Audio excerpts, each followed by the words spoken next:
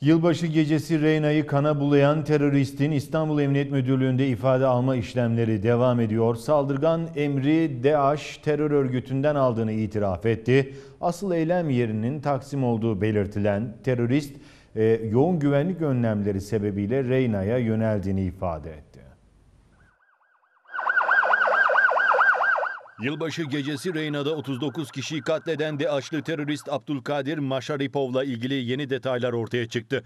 Teröristin yurt dışına kaçabileceği değerlendirilerek sınırda kaçakçılık yapan kişiler yakın takibe alındı. Hatay polisi Maşaripov'a olay günü ve sonrasında yardım ettiği belirlenen Özbek asıllı 3 kişinin kente geldiğini ve kaçakçılarla temas kurduğu bilgisini aldı.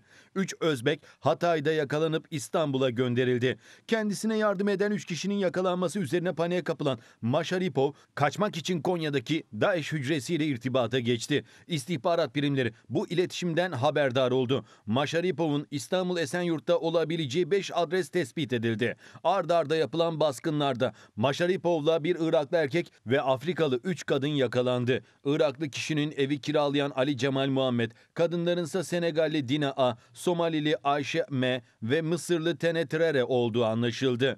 Şüphelilerin alışveriş ve yer değiştirmede dikkat çekmemek için siyahi kadınları kullandıkları tespit edildi. Operasyon sırasında Abdülkadir Maşaripov'un yatağın altına saklandı. Polisler kendisini görünce Türkçe öldürmeyin beni dediği öğrenildi. Terörist ilk ifadesinde saldırıyı nasıl planladığını, nasıl keşif yaptığını, eylem sırasında ve sonrasında neler yaptığını tek tek polise anlattı.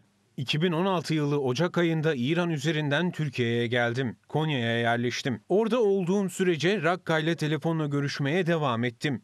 Yılbaşı gecesi Taksim'de eylem yapmam talimatı verildi. Taksim'de yaptığım keşif görüntüsünü gönderdim. Ancak çok yoğun güvenlik önlemi olduğunu görünce vazgeçtim. Rakka'daki kod adı Hoca Aka olan DH emiriyle görüştüm. Bana bölgede yeni bir hedef bulmamı söyledi.